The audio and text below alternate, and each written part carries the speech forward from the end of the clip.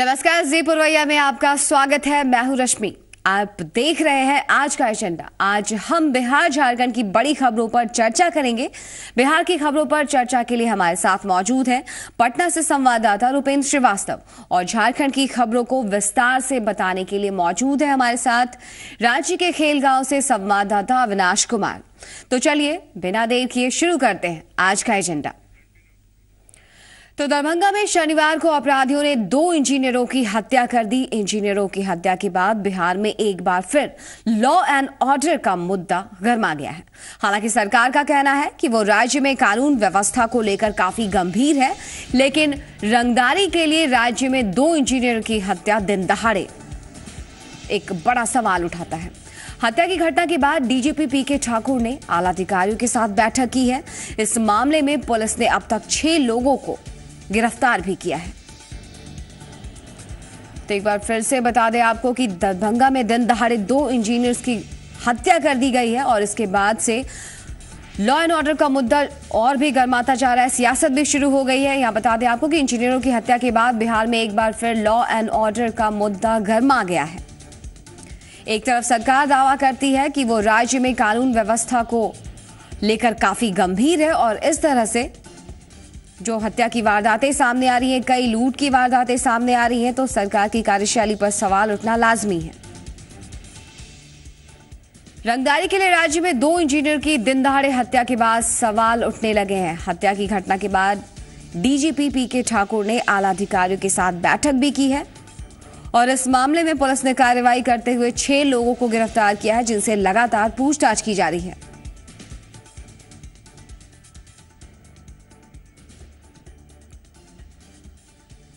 तो दरभंगा में शनिवार को अपराधियों ने दो इंजीनियरों की हत्या कर दी है और इस वारदात के बाद जो कारोबारी वर्ग है, उनमें काफ़ी गुस्सा भी है और कहीं ना कहीं वो दहशत में भी है।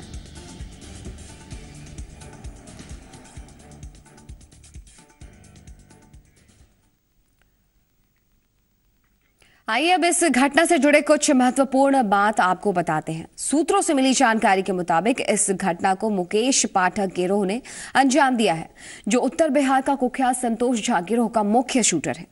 संतोष इस वक्त जेल में कैद है। उसे एसटीएफ ने 12 फरवरी को 24 परगना कोलकाता से गिरफ़्तार किया था। मुकेश पाठक दो साथियों के साथ 17 जनवरी साल 2012 को रांची से गिरफ़्तार किया गया था। लेकिन इसी साल 21 जुलाई को शिवहर सदर अस्पताल से मुकेश पुलिसकर्मियों को चकमा देकर वहाँ से फरार हो गया। इसके बाद से ये लगातार सीतामढ़ी, शिवहर, मोतिहारी और दरभंगा में कई घटनाओं को अंजाम देता रहा है। दो दिन पहले ही इसने सीतामढ़ी में एक बिजनेसमैन और एक पत्रकार से रंगदारी मांगी है। जिन दो इंजीनियर्स की हत्या हुई है, उन लोगों ने सुरक्षा की भी मांग की थी। ज़िले के एसपी ने 11 दिसंबर को होमगार्ड के पाँच जवानों को सुरक्षा के मद्देनजर तैनात भी किया था। लेकिन कल ही उन पाँच जवानों को वापस बुला लिया गया था।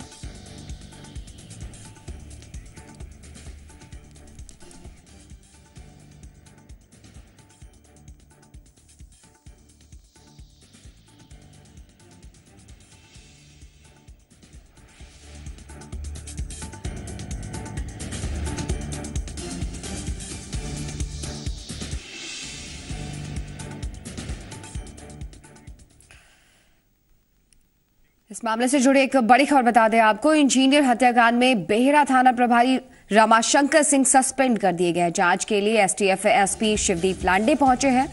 वहीं दरभंगा के एसपी ए के सत्यार्थी भी इस मामले की तहकीकात कर रहे हैं और लगातार छापेमारी जारी इस सिलसिले में, ताकि अपराधियों तक जल्द से जल्द पहुँचा जा सके। तो बड़ी खबर है, अपडेट है इस मामले में। बता दें आपको कि इंजीनियर हत्याकांड में बेहरा थाना प्रभारी रमाशंकर सिंह को सस्पेंड कर दिया गया है।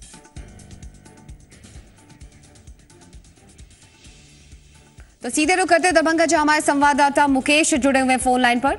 आ, मुकेश जानना चाहेंगे आपसे जो खबरें मिल रही है उसके मुताबिक इंजीनियर हत्याकांड में बेहरा थाना प्रभारी रमाशंकर सिंह को सस्पेंड कर दिया गया है। और क्या कुछ अपडेट्स हैं आपके पास?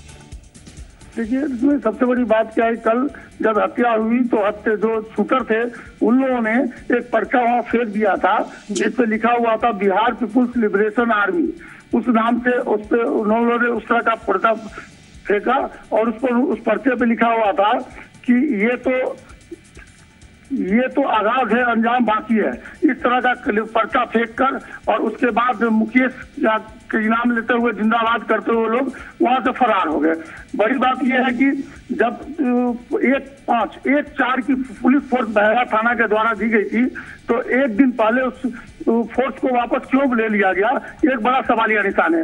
इसी के मद्देनजर एसएसपी ने जब सवाल किया तो बहरा थाना प्रभारी कुछ बोलने से इंकार कर रहे थे और उस उन, उन, उनका निलंबन हो गया।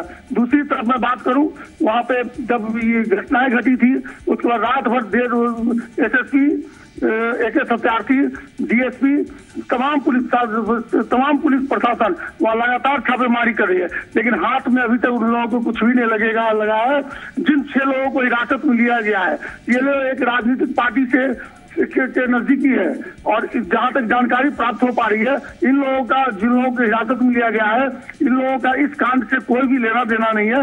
इस तरह का हमारे सूत्र बता रहे हैं। एक और बड़ी बात मैं बता दूँ। जी। कि जो मुकेश मुकेश और संतोष है इन लोगों पे पूरे बिहार में लगभग पैंतीस पैंतीस आपराधिक मामले दर्ज हैं और इस मामलों पे पुलिस उनकी खोज कर रही थी। जी जी मुकेश खबरें मिल रही है कि शिवदीप लांडे भी मौके पर पहुँचे हैं। उनका क्या कहना है इस पूरे मामले में? देखिए संदीप लांडे दे, देर रात पहुँचे हैं। एसटीएफ के एसपी हैं और पहुँचे हैं और वो अपने स्तर से पूरी जाँच कर रहे हैं। वो उनसे अभी हमारी बातचीत नहीं हो पाई है। वो देर रात पहुँचे थे और देर रात पहुँचने के बाद वो घूमे आप खुद अपनी टीम बना रहे हैं और बना करके वो छापेमारी कर रहे हैं और जाँच कर रहे हैं। जी तो कहीं ना कहीं पुलिस की कार्यशैली पर कई सवाल उठते हैं। जो सिक्योरिटी मुहैया कराई गई वो 24 घंटे तक भी नहीं रुकी और सिक्योरिटी हटा दी गई। और इस तरह की वारदात सामने आई आपके सामने देख सकते हैं। और फ़िलहाल इन जानकारों के लिए मुकेश, बहुत बहुत शुक्रिया आपका। आप नज़र बनाए रखिए, अपडेट्स लेते रहेंगे आपसे।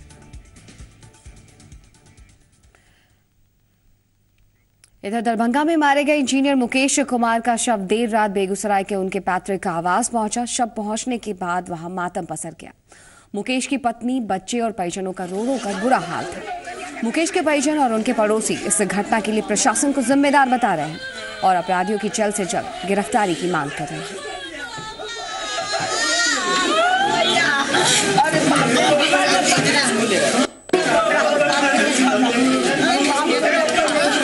प्रशासन पूरी तरह से विफल है।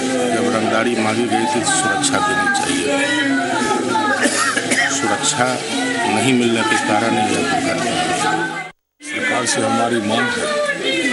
सबसे पहले तो अपराधी को सजा मिले और फिर किसी इंजीनियर की हत्या नहीं। ठोस कार्रवाई हो और भगवान से भी प्रार्थना करेंगे बहुत बड़ी घटना है मृतक परिवार की आत्मा इतना धैर्य दे इस घटना से जूझे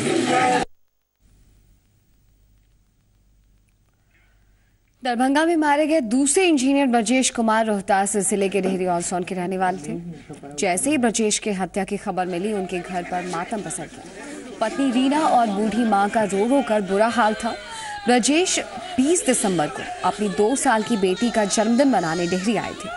25 दिसंबर को वो दरभंगा पहुँचे थे। इस घटना के बाद स्थानीय लोगों में काफ़ी आक्रोश है। लोगों ने दोषियों की जल्द से जल्द गिरफ्तारी की मांग की है।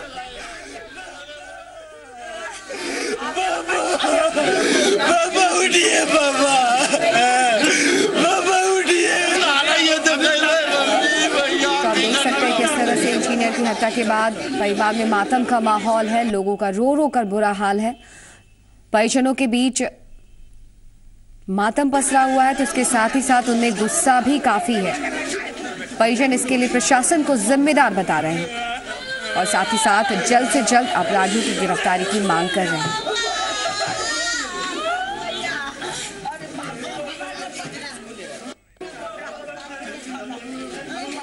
रुक कर लेते बेगूसराय जहाँ हमारे संवाददाता राजीव जुड़े हुए हैं फ़ोन लाइन पर। राजीव इस मामले में अपडेट्स क्या है आपके पास? देखिए रात में देर रात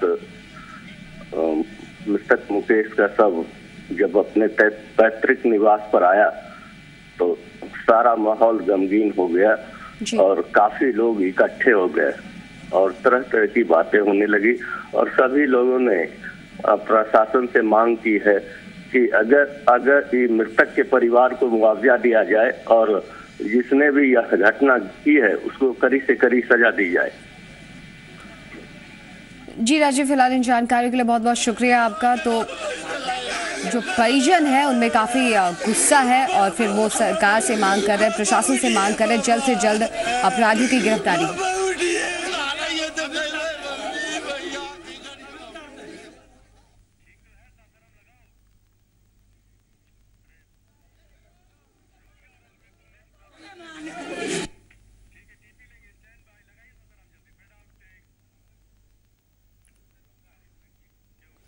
तो दरभंगा में मारे गए दूसरे इंजीनियर ब्रजेश कुमार रोहतास ज़िले के डेहरी ऑन सोन के रहने वाले थे। जैसे ही ब्रजेश की हत्या की खबर मिली, उनके घर पर मातम पसर गया। पत्नी रीना और बूढ़ी माँ का रो रो कर बुरा हाल है। यहाँ बता दें आपको कि ब्रजेश 20 दिसंबर को अपनी दो साल की बेटी का जन्मदिन मनाने डेहरी आए हुए थे। पच्चीस पच्चीस दिसंबर को वो दरभंगा पहुँचे थे। इस घटना के बाद स्थानीय लोगों में आक्रोश है।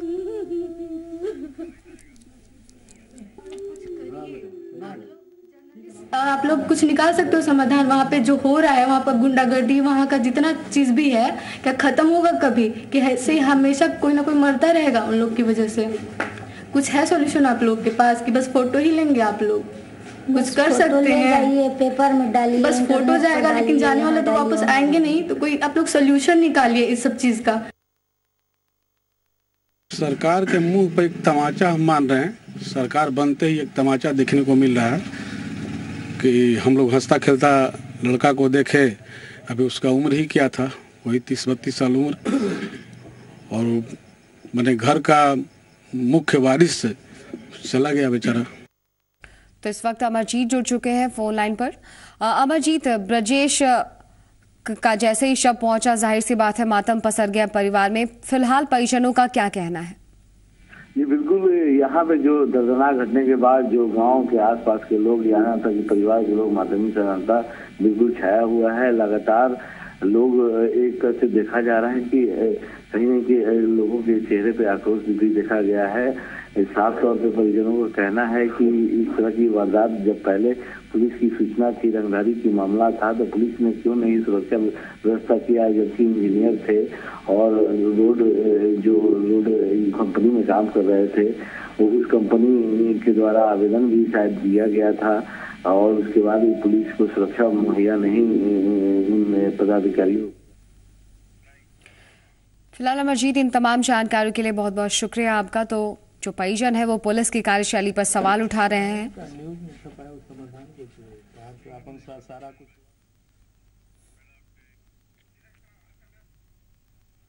और अब बात पटना वासियों से जुड़ी खबर की तो पटना के संजय गांधी जैविक उद्यान में मॉर्निंग वॉक करने वालों से अब शुल्क लिया जाएगा। जू प्रशासन प्रति व्यक्ति 200, 500 और 1500 रुपए वसूलने की तैयारी कर रहा है। यह शुल्क मासिक त्रैमासिक और वार्षिक होगा। तो पटना वासियों के लिए थोड़ी परेशान करने वाली खबर है। अब पटना वासियों से प्रशासन शुल्क वसूलने जा रहा है। दरअसल पटना के संजय गांधी जैविक उद्यान में मॉर्निंग वॉक करने वालों से अब शुल्क लिया जाएगा।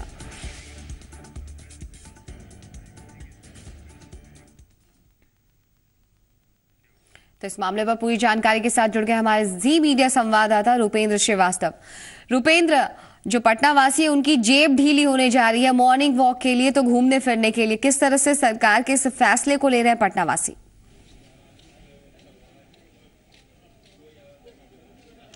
जी जहाँ तक बात की जाए तो पटना वासी जो हैं, उनकी अब जेब ढीली होने जा रही है। उन के लिए खास है जो मॉर्निंग वॉक करने आते हैं। और सुबह बात की जाए तो जू में बीस हज़ार के करीब में लोग आ, आते हैं मॉर्निंग वॉक करने और अपने स्वास्थ्य लाभ के लिए तो बीस हज़ार की संख्या जो पार कर रही है उसके बाद जू प्रशासन कहीं न कहीं इस पर अब लगाम लगाने के लिए ये फैसला लिया है। और खास तौर पर देखा जाए तो बीस हज़ार से अधिक जैसे व्यक्ति आ रहे हैं तो यहाँ पर जो भी जानवर रखे हैं गए हैं तो जू प्रशासन ये दलील दे रहा है कि उन लोगों की परेशानी हो रही है जो जानवर रखे गए हैं उनका सोने का टाइम होता है और इस समय जो यहाँ पर चहलकर्मी होती है इसके कारण लोगों को काफ़ी परेशानी हो रही है। इसके कारण ये जो जू प्रशासन ने ये फैसला लिया है कि यहाँ पर अब शुल्क देने पड़ेंगे और ये एक माह में जैसे दो सौ रुपया रखा गया है, तीन महीने के लिए पाँच सौ रुपया रखा गया है और सालाना वार्षिक जो है वो पंद्रह सौ रुपया रखा गया तो कहीं ना कहीं जू प्रशासन जो लोग आते हैं, उन पर अब लगाम लगाने के लिए किस, जब वो शुल्क लगाएँगे तो लोग कम आएँगे और जिसके कारण जो जू में आने की जो लोगों की जो है, सुबह के बात की जाए मॉर्निंग वॉक करने वाले लोग की उनकी संख्या में कमी आएगी। तो एक तरह से जू प्रशासन अपने तरफ़ से एक तरह से देखा जाए तो वो सेफ़ कर रहा है कि कम से कम लोग आए लेकिन कहीं ना कहीं जो पटना वासी हैं उनके लिए ये जेब ढीली करने वाली बात हो गई है और कहीं ना कहीं वो दुखी हैं। और खास करके हम अभी पटना जू में हैं और देख सकते हैं मेरे पीछे जो है जो मॉर्निंग वॉक करने वाले लोग हैं वो आ रहे हैं मॉर्निंग वॉक कर रहे हैं। हमारे साथ एक युवा हैं हम उनसे बात करेंगे। आप यहाँ और आपसे जानना चाहेंगे कि आप मॉर्निंग वॉक करने आते हैं। और अब तो यहाँ पर अब जेब ढीली करने पड़ेगा आपको। जी हम यहाँ रेगुलर मॉर्निंग वॉक के लिए आते हैं ठीक है? मेरे हिसाब से फिटनेस जो है वो इंसान को अगर कुछ भी अचीव करना है तो उसके लिए बहुत ज़रूरी है ठीक है ना? So I use to come here daily ठीक है? लेकिन पैसे लगेंगे आप मॉर्निंग वॉक करने आइएगा तो आपको आप पास लेना होगा उसके बाद ही आपकी एंट्री होगी। आई थिंक कि ये सही नहीं है ठीक है ना? क्योंकि यार हम लोग मेहनत कर रहे हैं फिट हम लोग रहना है ठीक है ना? तो उसके लिए आ, पास आई मीन ना एक्यूरेट नहीं रहेगा। हम लोग आ रहे हैं सो आई थिंक पास जी तो पटना वासियों को अब सेहत बनाने के लिए अपनी जेब ढीली करनी पड़ेगी तो लोगों में थोड़ी नाराज़गी ज़रूर है। फ़िलहाल इन जानकारियों के लिए बहुत बहुत शुक्रिया रुपेंद्र आपका। आइए अब बिहार की दूसरी खबर जिस पर हमारी नज़र रहेगी, उस पर एक नज़र डाल लेते हैं। बिहार के उत्पाद एवं मद्य निषेध मंत्री अब्दुल जलील मस्तान आज इकतीसवीं बिहार कलाश्री और पत्रकार श्री अवार्ड के विजेताओं को सम्मानित करेंगे। पटना के कदम कुआ में आज दो बजे बिहार साहित्य सम्मेलन का आयोजन किया गया है।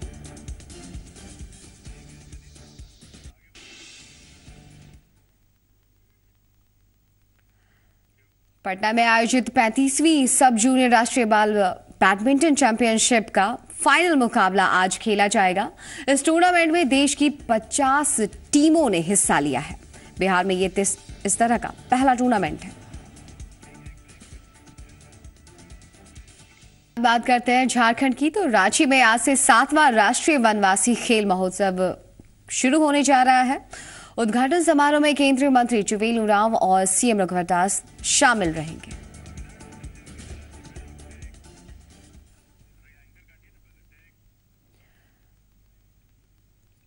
चलते सीधे रांची के खेलगांव में, जहाँ हमारे संवाददाता अविनाश कुमार जुड़े हुए हैं हमारे साथ। अविनाश, आज से सातवां राष्ट्रीय वनवासी खेल महोत्सव शुरू होने जा रहा है। तैयारियाँ किस तरह देख रहे हैं आप? देखिए, रश्मि, तैयारी पूरी हो गई है और जितने भी खिलाड़ी हैं, जो जानकारी मिल पा रही है कुल 27 राज्यों के करीब तीन हज़ार खिलाड़ी इस वक्त रांची के खेलगांव पहुँच चुके हैं और आज ही उसका उद्घाटन भी होना है। उद्घाटन के बाद जो महोत्सव है, वो 31 दिसंबर तक चलेगा। आपको दिखाने की कोशिश करेंगे कि ये हमारे पीछे एक मंच है, मुख्य मंच आप कह सकते हैं, जिस पर केंद्रीय मंत्री, मुख्यमंत्री सहित जो भी आगंतुक होंगे वो उपस्थित रहेंगे।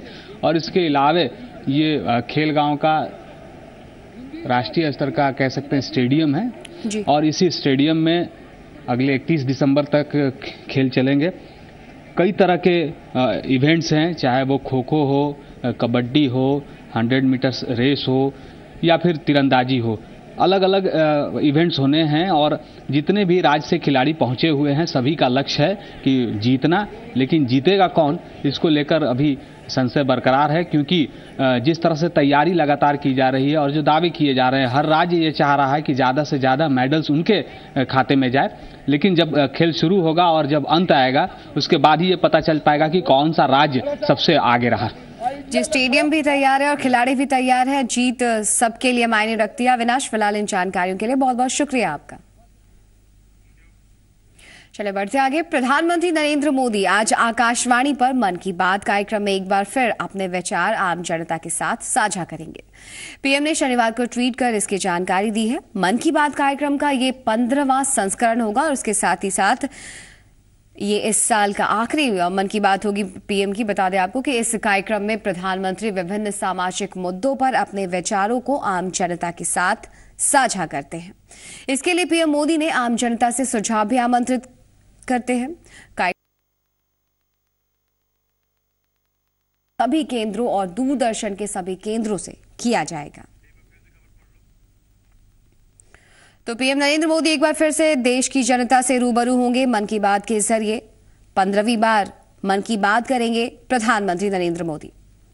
बता दें आपको कि कार्यक्रम का प्रसारण रविवार सुबह 11 बजे, यानी कि आज सुबह 11 बजे किया जाएगा।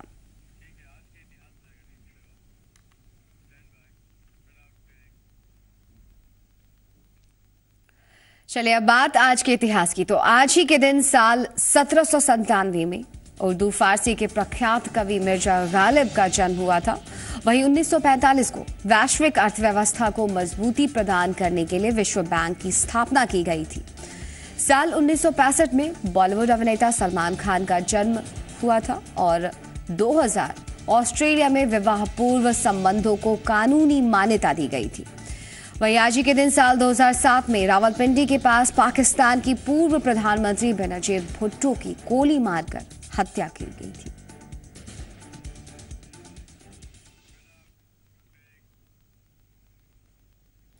तो आज का एजेंडा में इतना ही।